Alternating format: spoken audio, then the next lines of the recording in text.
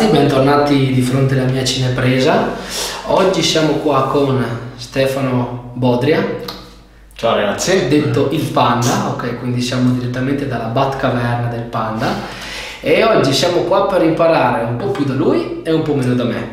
Nel senso che parleremo un po' di quelli che sono gli elementi fondamentali dei calistenici, cioè di quelli che sono un po' più le skill che vengono eh, presentate come le cose più belle da imparare e capire da quella che è la sua esperienza come atleta e come allenatore, eh, quali possono essere un po' le soluzioni ai grossi dubbi che si presentano nel sviluppo di questi elementi. Logicamente non vuole essere una Bibbia, vuole essere più una condivisione e capire dove una persona che ha raggiunto una buona quantità di risultati sopra la media, soprattutto perché non, non pesa 24 kg, giusto? Ok, 84. 84, ok, quindi capire come una persona sopra la media possa comunque ottenere determinati risultati.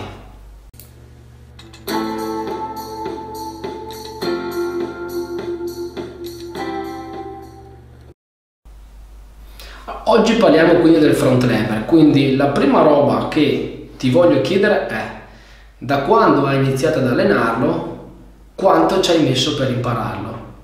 Allora, il mio trascorso con il front lever è molto travagliato, in quanto da quando ho iniziato a allenarlo ho perso parecchio tempo allenandolo male e a caso, quindi ho impiegato un paio d'anni abbondanti a prendere la sua forma finale e appunto ho avuto diverse difficoltà, eh, soprattutto perché non capivo quale fosse la tecnica corretta. Quindi, innanzitutto, la cosa principale, fondamentale delle skills, a mio parere, è capirle. Capire quale sia il giusto modo di attivarsi, il giusto incastro articolare, eccetera. Quindi, nel- nello specifico, parlando del front lever, fate sempre ben caso di avere le braccia completamente tese perché sennò dopo Siete bent.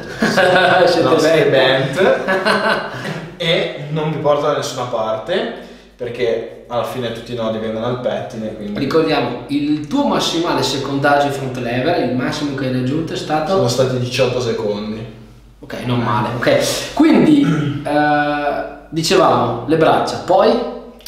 quindi braccia belle tese secondo la cosa fondamentale del front lever è capire questo movimento quindi il fatto di spingere dirigere la forza verso i fianchi quindi sentire bene lavorare il dorsale. Quindi non è uno stare appesi, è pensare a fare questo movimento di attivazione perché anche solo l'idea di attivare un certo muscolo crea un'attivazione ma- maggiore a livello del sistema nervoso, un po' come quando avete un carico massimale e voi pensate a spingerlo più velocemente possibile, dà comunque un effetto maggiore. Dov'è che tu hai riscontrato più difficoltà? Cioè c'è stata una fase nell'apprendimento, quindi passando magari da una didattica all'altra, dove tu hai riscontrato la difficoltà maggiore? Allora, innanzitutto ho avuto due fasi di questo tipo. Mi ricordo benissimo il passaggio dall'advanced stack alle varianti più avanzate. Infatti, l'advanced stack mi ha mm, spezzato le gambe, nel senso ci ho passato pa- tantissimo tempo proprio per il discorso che facevamo prima. Non riuscivo ad attivarmi correttamente. Poi, una volta capito il movimento, eh, è stato abbastanza un percorso in discesa fino ad arrivare alle varianti finali, quindi il full front lever me lo sono ritrovato dopo aver mh, litigato un pochino con la divaricata e ehm, il- la mezza completa. Quindi il passaggio da divaricata a mezza completa per me è stato quello più ehm, difficile, mentre il completo me lo sono ritrovato, il full front lever me lo sono ritrovato da solo dopo appunto aver passato quella fase un po' più difficile. Quindi il discorso è non allenarsi mai a cedimento, mai su varianti che non permettono di eseguire il movimento alla perfezione. E di avere un secondaggio minimo. È come dire, potete migliorare in panca facendo sempre il 98% del massimale per un colpo di bruciare il sistema nervoso. Bisogna sempre avere un margine. Quindi arriviamo un po' alla domanda che tutti vogliono sentire.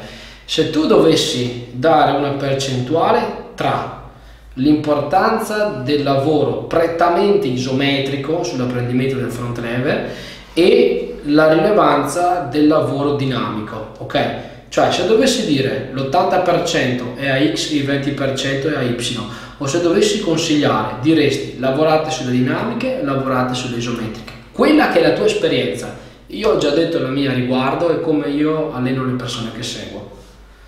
Allora, farò di più. Vi dirò esattamente quello che ho fatto prima. To, to beccata di questa. prima di prendere il frontend. Esatto.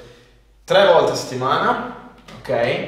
Due volte esercizi isometrici, una volta esercizio dinamico in arrivo isometrico in posizione, quindi un sacco di isometrie, ok? Ma mai tirate a massimale. Sempre tante serie a un buffer medio-alto. Quindi io facevo eh, due volte a settimana, mezza completa, full, mezza completa, full, per un paio di ripetizioni con tenute più prolungate possibile, senza mai cuocermi, per due volte a settimana. Terzo allenamento, le, eh, i sollevamenti, quindi i raise, con blocco isometrico in front lever in mezza completa. Quindi, come vedete, il rapporto è sempre 2 a 1 su tre allenamenti alla settimana e due terzi sono i lavori isometrici. E comunque il terzo allenamento aveva sempre una forte componente isometrica perché facevo il raise con blocco isometrico di 6-7 secondi. Questo perché per poter fare un lavoro dinamico concentrico ti serve più forza ok? Rispetto al tenere l'isometria, se hai due secondi di front lever isometrico, il raise con blocco non lo riesci a fare. Quindi la dinamica ci può stare a patto che sia lavorata ad una variante che sia più semplice. Giusto? Ok. E detto questo, l'ultima roba che io ti volevo, mm, ti volevo chiedere, che è una cosa fondamentale, ecco, il lavoro cronico sul front lever, quindi protrarlo al massimo, ti ha mai portato ad avere qualche fastidio alle spalle, qualche problema posturale, qualche noia in generale nella parte superiore del corpo? Allora, quando lo allenavo eh, in maniera scorretta, quindi braccia piegate, mh, tenute a caso, serie senza senso logico, mh, mi provocò una contrattura al gran dorsale e eh, rischiai eh, un'epitrocleite, ma per fortuna mi fermai prima e la contrattura mi durò un po' di tempo. Piccolo aneddoto divertente, una volta addirittura mi eh, partì un crampo fortissimo al femorale, al bicipite femorale facendo il front lever e mi durò per due settimane. ok, allora voglio um, un attimo fare un'ultima domanda che è una cosa che magari assilla tante persone, ok?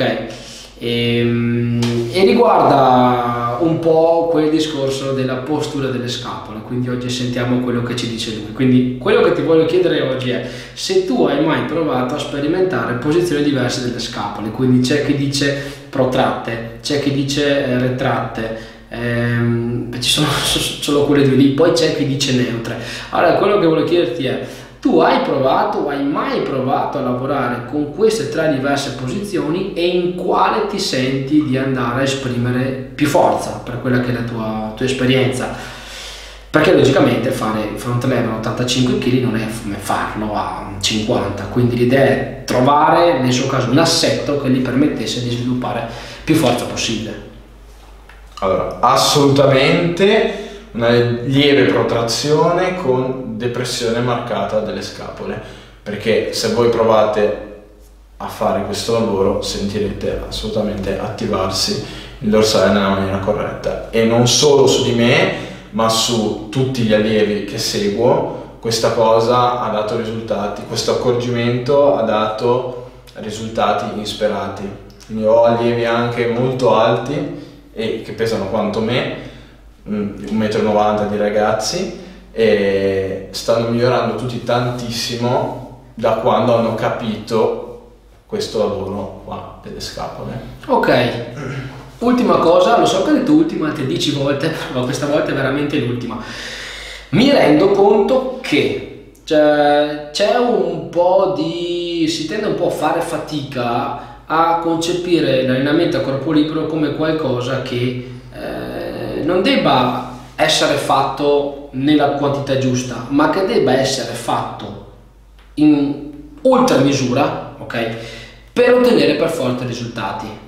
Quindi c'è chi, per esempio, nella scheda ha i front lever 4-5 volte alla settimana e c'ha 2-3 esercizi per i front lever nello stesso allenamento quindi quello che volevo chiederti io è, l'ultima domanda e poi questo è concluso, eh, quando hai ottenuto il massimo dei miglioramenti, quanti esercizi per il front lever facevi in una seduta di allenamento e quante volte allenavi il front lever in una settimana? Come, come ho già detto, da più o meno sempre in realtà tre sessioni settimanali e da quando ho adottato un singolo esercizio per seduta, magari per più serie, ok? 4, 5, 6 serie voler esagerare, di quel singolo esercizio ho avuto il massimo incremento nelle prestazioni. Eh, anche perché allenando altre skill diventa difficile riuscire a gestire un volume più elevato di lavoro. Cioè è probabile che arriviate a migliorare tanto in un movimento ma ci sia qualcos'altro che ne risente prova ne l'ultimo periodo dove è diventato un mostro in planche, però ahimè, blocco della planche, attivazione del dorsale, front lever, sono andato giù a picco Titanic, ok? Da 18 secondi sono passato 8. Ok, adesso. quindi Titanic front lever, ok? Buono, quindi questa puntata qua per il front lever è finita, ricordatevi di seguirlo sul suo profilo, sulla sua pagina c'è un canale YouTube? Canale YouTube Bear Bros Academy. Bang Bros? no, niente di non, non è Bang Bros. Bear Bros, fratelli orsi. Ok, va bene.